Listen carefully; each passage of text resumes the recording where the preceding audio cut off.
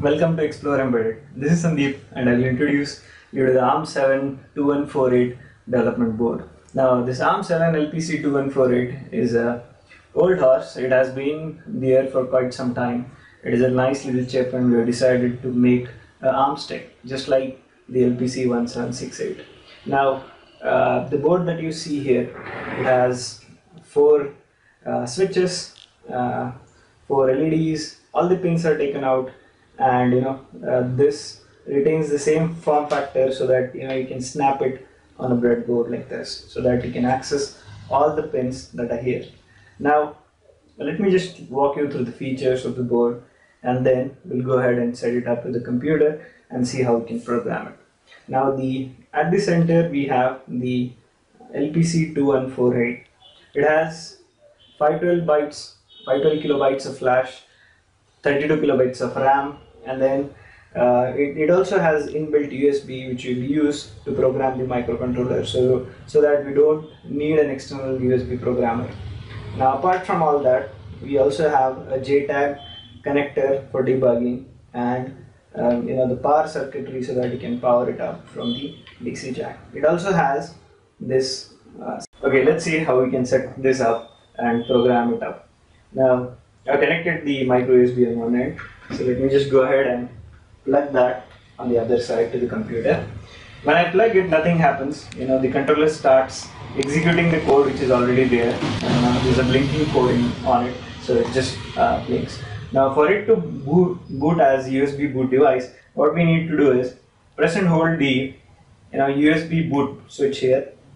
Press the reset switch, release it, and then release the USB boot switch. So we'll have uh, this appear as you know explore 2148 drive what we simply need to do is we need to delete this bin file and you know uh, put the bin file that was generated from the code uh, you can drag and drop copy paste into whatever you wish. Simply drag, uh, pasted the bin file here and you know for it to uh, start operating in normal mode you just need to hit the reset button once. So once I done once I've done that, the board starts blinking. So this is so easy to program, uh, which is you know quite excellent with the USB bootloader. Now the board comes with uh, USB bootloader inbuilt, so you'll have not have to do anything. Now let me just go ahead and quickly show you what configurations you need to do uh, in order to use the USB uh, bootloader and you know in order to set the offset so that you know the code works properly. So so when you create a new Keil project so this is for Keil so it could be done for any other IDE so you need to go to the project properties. And the first thing that you need to specify is the target addresses. So since there is a USB bootloader in the starting of the flash you need to specify the starting addresses 0x2000 so this is a very important setting and also uh, in the linker you need to check this option which says use memory layout from the target dialog.